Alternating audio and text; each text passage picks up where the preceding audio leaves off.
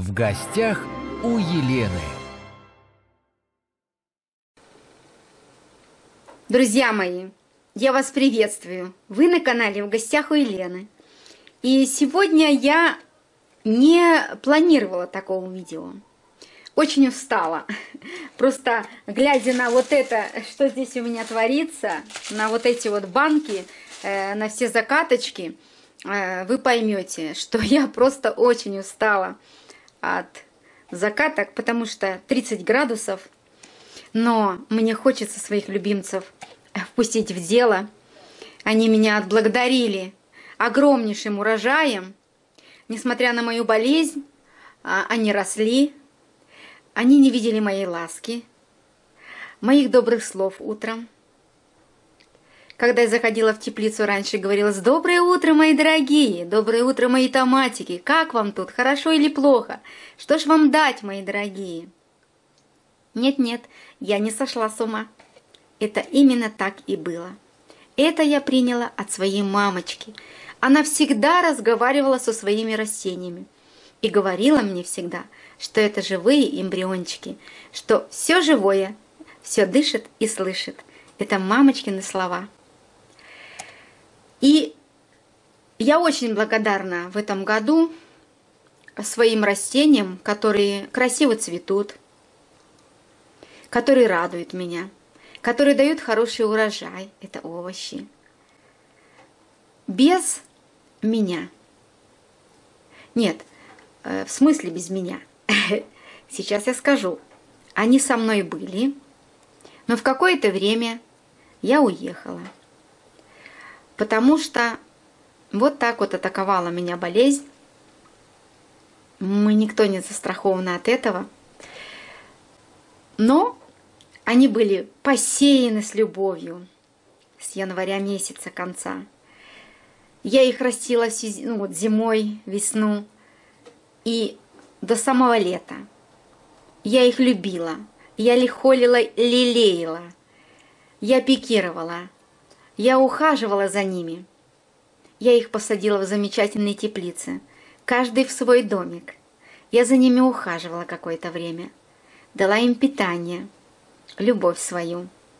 А дальше вот эти замечательные дары перешли в руки Артема. Он первый год освоил этот труд. И, конечно же, э, не идеально, но все-таки у него получилось. А получалось только всего лишь поливать. И подвязал он томаты. Потому что э, подкармливать, какие я даю подкормки, конечно же, мои томаты не видели. Но они росли. Уезжая, я их попросила. Радуйте меня, мои золотулечки. Потому что я вложила вам, в вас все. Я вас очень люблю и думаю, что вы отблагодарите меня. Растите, будьте умнички, давайте урожай, и я обещаю вам до конца всех-всех устрою туда, куда нужно.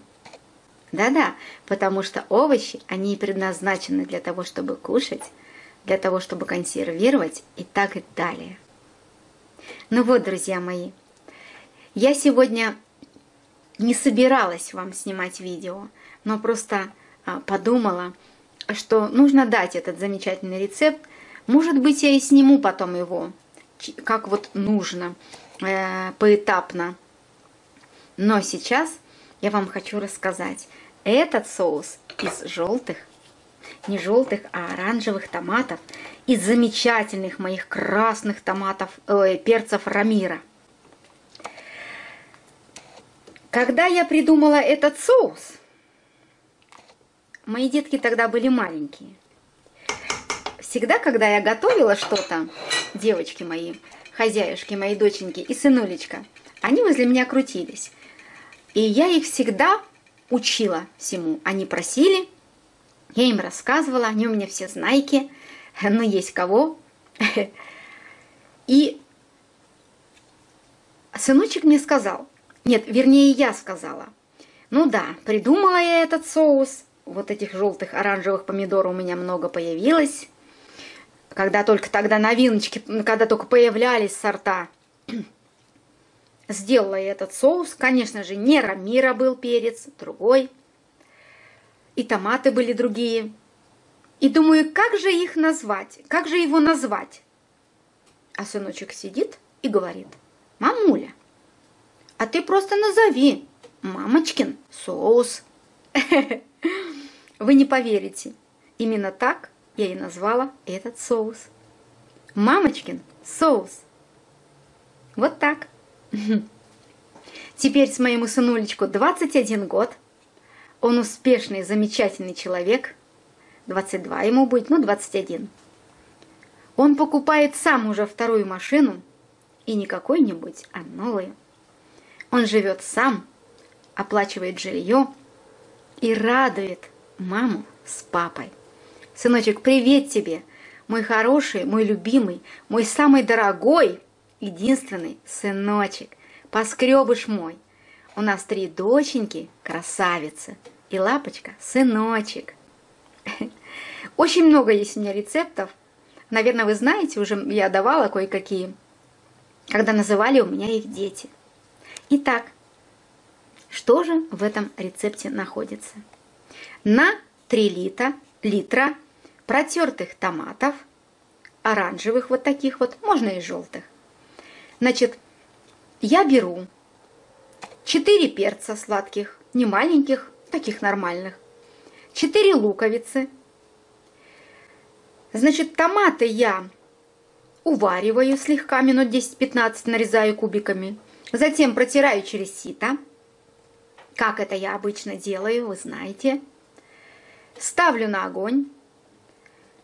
Когда закипит, минут 20 покипит у меня томатная масса, нарезаю перчик кубиками, нарезаю лук кубиками и тоже сюда бросаю. И вот эта масса будет у меня тушиться очень долго. Уварю я ее почти до половины, почти до половины. Затем я ее пюрирую. Но ее можно будет и не пюрировать. Этот соус можно оставить и с кусочками. Будет тоже очень вкусно и красиво. И этот соус точно так же можно использовать для пиццы, для спагетти, для мяса, для картошки, для чего угодно, дорогие друзья. Если вы заметили, то вам покажется, что э, этот соус красный. Я просто не показала вам желтый цвет, а поставила уваривать уже с перцами красными, краснючими. И вот такой цвет дал. Смотрите, что я хочу сказать. Даже желтые оранжевые томаты можно использовать. Потому что был вопрос и не один, что же делать, Лена, из желтых томатов, как кроме их кушать? Ну, консервировать. Можно ли их использовать еще куда-то? Вот я сюда использую. Я уже вам выложила видео о том, что я делаю томатный сок. Это тоже очень вкусно. Это замечательно. Но я сейчас вам хочу вставить, как я протирала эту массу. У меня есть такое видео, кусочек видео. Я сейчас вам вставлю, посмотрите, какие они были. И уже э, закипела у меня масса, и уже минут 10 кипит с всеми овощами вместе. Так вот, смотрите. Ну вот, настала очередь из желтых томатиков. Не желтых, я всегда путаю, это оранжевые томаты. Желтые, они прямо желтенькие, нежно-желтые. Вот здесь у меня 5-литровая кастрюля. Вот. Э, я ее наполнила. Смотрите, даже семян нет. Вот вы просто потрудитесь, найдите хоть одно семечко. Видите, какая мякоть, какие томатики. Вот я и нашла одно семечко. Вот. Вот из прям полная-полная, видите? С верхушкой пятилитровая кастрюля. А вот. И потом я вам покажу, сколько выходит сока чистого, чистой мякоти, пюрообразной такой. из желтых, вернее оранжевых томатов. Из желтых тоже так. Точно так же. Они тоже такие же вкусные, такие мясистые. Ну и вот сколько у меня вышло из желтых помидор. Посмотрите, какая мякоть. Очень, очень нежная такая. Посмотрите, какая прелесть.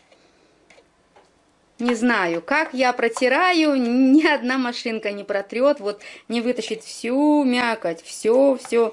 Э, протираешь, когда получается одна сухая шкурка и семечки. Все вот это сюда. Только не перестарайтесь, потому что э, может семечко можете протереть, и такие беленькие такие стружечки будут на в соке. Вот так. Вот эти у меня штучки имеют 3 литра. И что дальше? Уварила я до половины, если хотите не до половины, а раньше. Хотите пюрируйте, хотите так. Добавляю э, на оставшуюся массу одну столовую ложку соли без верха, верх, без верха 130 грамм сахара, можно 150, это будет нормально, будет очень вкусно. И в конце я добавляю сюда смесь перцев, э, через вот такую ступочку протираю, добавляю сюда и подтушиваю еще минут 5. Затем я добавляю еще одну столовую ложку 9% уксуса. Убираю с огня, тщательно размешиваю и разливаю по баночкам. Чистым, стерильным. Баночки я мою с содой и крышечки тоже. Стерилизую и крышки тоже. Все, что было сухое, чистое, стерилизованное. Затем выкладываю соус и переворачиваю баночки вверх дном, оставляю до полного остывания. Вот вам и соус мамин. Мамочкин соус, так сказал мой сыночек. Вот так. Ну что ж, дорогие друзья, не подумайте, что у меня крыша съехала. Просто, вы знаете, когда я готовлю вот этот соус, я всегда вспоминаю, как это было маленьких деток, те заботы, которые у меня были с, ним, с ними, те прекрасные минуты, те счастливые минуты. А сейчас мои детки покинули гнездышко. Все улетели. Каждый в свое гнездышко. Простите, сегодня у меня день воспоминаний. Но вы же для меня тоже родные. Пусть и не близко мы знакомы, но я вам очень доверяю. И вот уже двоих дочек мы выдали замуж, третья на очереди, и сыночек четвертый на очереди. Они бы, конечно, в одно лето все сделали свадьбу. Да, они сказали, что мы по очереди. Вот такие дела у нас. Вот только недавно выдали мы доченьку Элиночку замуж. Замечательную девочку, умничку, за замечательного человека. А другого э, быть и не могло. Замечательный зять Денис, замечательная семья, мама, папа, чудесные люди. Также и старшенькую Танечку, которая родила нам Марка, вами всеми любимого Маркушеньке ему пять лет уже. Также он замечательный зять. Вот уже, вот уже почти семь с половиной лет он в нашей семье, и всегда он радует. Он замечательный зять, замечательный папа и муж. Я рада, что у моих деток все хорошо. Также я рада и третьему зятю, который будет. Он тоже замечательный. Также я рада и своей снохушке, будущей, Э, нашего сына Вовы, Тонечку. Она замечательная. И вы знаете, э, я вам скажу одну такую умную вещь, как говорят. которую говорила мне моя мама. Она говорила, когда ее спрашивали, как зять, все ли там хорошо, все ли тут, как там, в общем, как и мы все порой встречаемся и спрашиваем друг друга. Она сказала, она говорила, замечательно. Полюбил мой сын, сделал выбор. Он выбрал, значит, я принимаю. Это выбор моего сына, и я выбираю, и я принимаю.